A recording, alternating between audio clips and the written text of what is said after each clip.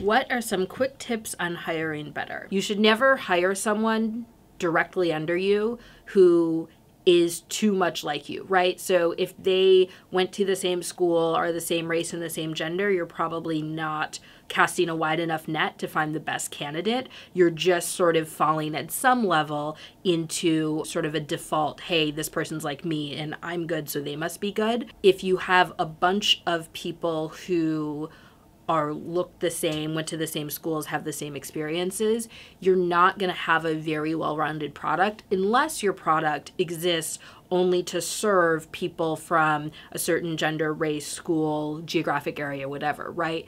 Typically, if you're starting a startup and you're taking venture capital money or outside capital, you're not really trying to build a lifestyle business. And I think it's really hard to build a business that only addresses one very small segment of the population and not have it be a lifestyle business. Typically, if you really want to build something that scales, um, you need a bunch of different kind of people working with you.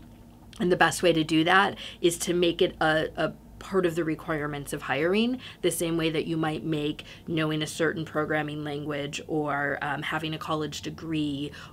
Hire people that you're not totally comfortable with, right? Building a company isn't always fun and there are uncomfortable moments and if you hire people that aren't going to be able to give you a counterpoint and help you through those uncomfortable moments you just kind of get stuck